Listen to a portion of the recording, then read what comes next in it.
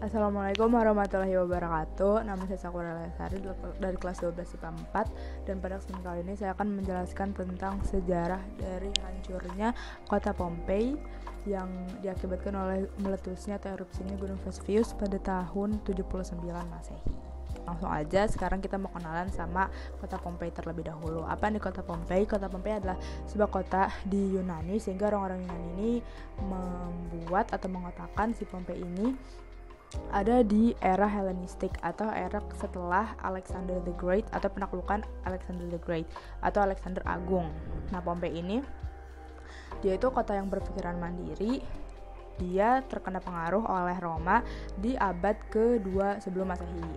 Nah, eh, btw Alexander the Great tadi itu di tahun 8 sebelum Masehi.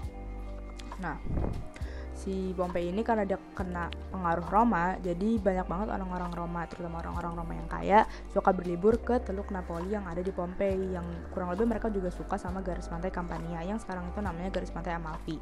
Dan Pompei ini letaknya kurang lebih itu 5 mil dari Gunung Vesuvius tadi dan bahkan tuh nggak ada satu kilo 5 mil tuh nggak ada satu kilometer jadi sangat-sangat dekat.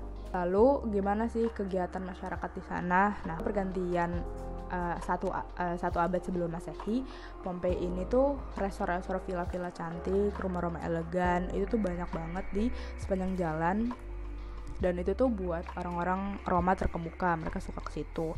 Uh, banyak juga turis penduduk Pompei dan budak-budak lalu lalang di Pompei itu. Mereka tuh sibuknya di pabrik-pabrik kecil terus di kedai-kedai minuman, kafe, uh, rumah bordil atau kayak buat pelacuran gitu dan tempat pemandian. Mereka juga punya arena uh, ada 20.000 kursi dan mereka suka santai-santai di alun-alun sama uh, pasar terbuka kayak gitu kurang lebih tuh ada 12.000 orang Pompei pas kejadian 79 Masehi itu.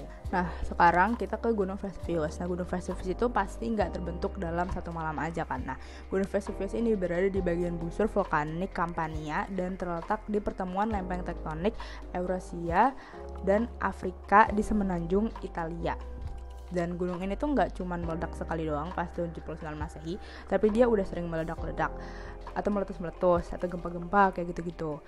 Pada tahun 1780 sebelum Masehi, itu terjadi sebuah ledakan yang sekarang kita tahunya itu namanya letusan Avellino.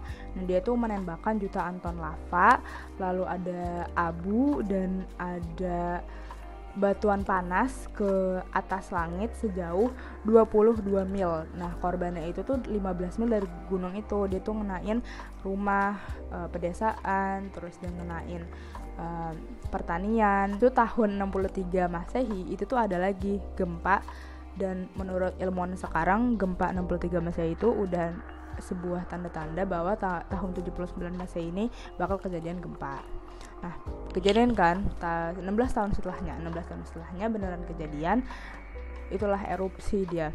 Dia nembak, dia keluar semua batu apung, abu, batu-batu lainnya. Terus ada yang paling parah itu adalah gas vulkanik ya, gas vulkanik hitam, panas dan e, menurut seorang penulis namanya Pliny the Younger, dia tuh ada di situ tapi dia gak kena dia di, di seberang teluknya. Dia tuh menuliskan bahwa awan yang begitu apa ya bu, awan hitam yang kayak gak wajar itu tuh setinggi hut pohon pinus yang udah naik ke daratan yang udah tinggi dan pohon pinus itu pohon pinus sendirinya udah tinggi dan bercabang-cabang. Jadi sangat gak manusiawi lah. Bahkan uh, dia itu menulis bahwa dia itu kayak udah mau binasa sama dunia dan dunia itu bersamanya kayak gitu. Nah sebenarnya uh, orang-orang di Roma ini masih punya kesempatan untuk melarikan diri. Ada yang melarikan diri lewat jalur darat, ada juga yang lewat laut. Tapi sebenarnya kalau laut ini udah nggak masuk akal ya soalnya uh, ketika gunung ini aktif pasti dia lautnya itu jadi geter juga sehingga gelombang lautnya udah gak stabil kayak gitu. Kak udah sedikit dingin nih dari gas vulkanik ini udah dingin. Uh, ada uh, jadi jatuh uh, batu apung batu apungnya itu jatuh lagi ke darat dan abu halus itu uh, menyerbu gitu. Jadi jadi kebanyakan orang-orang di Pompei ini meninggal karena uh, terganggu saluran pernafasan oleh si abu ini. Tadi sisanya nih kan dua ada dua opsi ya orangnya keluar lewat jalur darat atau jalur laut dan ada juga yang berdiam diri. Nah berdiam diri ini bahaya karena mereka ngirup abu yang halus itu kurang lebih itu kayak kita uh, di uh, kantong semen terus dipukul-pukul nah abunya itu ke kita gitu. Atau debu-debu yang ada di semen itu. Udah mereka bertahan di rumah udah kena abu muncullah gelombang piroklastik.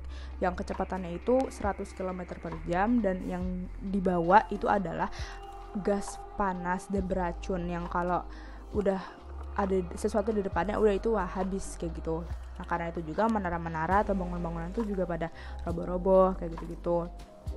Diperkirakan yang meninggal itu 2000 orang di Pompei sendiri dan total-total dari Gunung Vesuvius itu 16.000 orang karena ada eh, kata-kata yang di lain-lainnya kan. Di samping-sampingnya juga ada.